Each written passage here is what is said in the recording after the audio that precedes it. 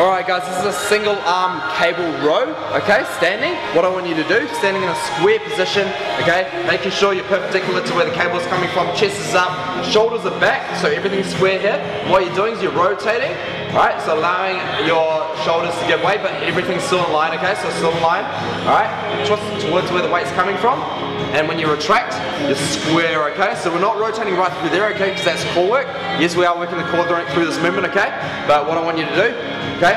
Is come up and square, okay? That's the finishing position. Come up and square, okay? Always aiming down here by the hip opposed to up by the shoulder, okay? Because that's going to cause hunching, okay? And more bicep action. We want back movement through there, okay? And pull, okay?